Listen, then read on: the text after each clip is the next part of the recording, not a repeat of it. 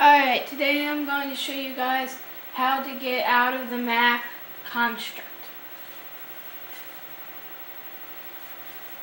Alright, so first of all get in your little ball and go over here and to one of these beam things. Okay, take and go into it, hold down the button that makes you fly really fast and go straight down, okay?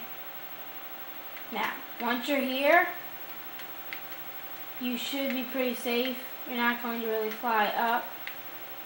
Sorry, give me one minute.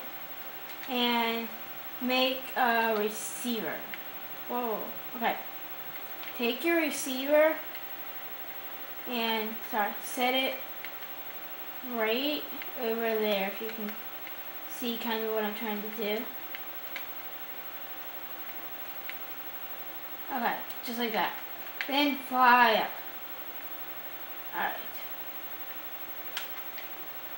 Right after that, you're going to take and make a sender. And you can put the sender like right here or whatever. And walk through. It's that simple.